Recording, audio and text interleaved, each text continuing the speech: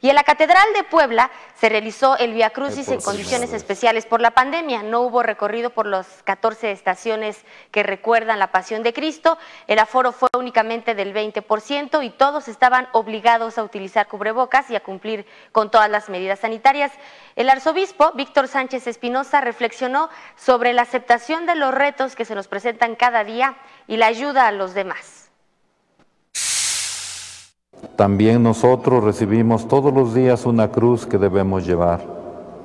Y nuestra cruz no es de madera, sino de pequeños acontecimientos que forman nuestro día.